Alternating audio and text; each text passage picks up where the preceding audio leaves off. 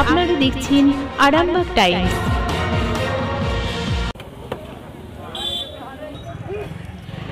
Engine ছাড়াই ছুটল মালগাড়ি। আজ এমনই ঘটনার সাক্ষী রইল বীরভূম জেলার রাজগ্রামবাসী প্রায় চল্লিশ কিলোমিটার গতিবেগ সম্পন্ন একটি মালগাড়ির পাঁচটি বগি প্রায় দশ কিলোমিটার অবধি ছুটল বিনা ইঞ্জিনে। স্থানীয়দের দাবি, পাথর বোঝার করার সময় হ্যান্ডব্রেক না করায় বিপত্তি ঘটল এরকম। হাত হতাহতের কোনো খবর না পাওয়া গেলেও বড়সড় দুর্ঘটনার হাত থেকে রক্ষা পেল এলাকাবাসী। যদিও এই নিয়ে মুখ খুলতে চাননি রেলের অধিকর্তারা।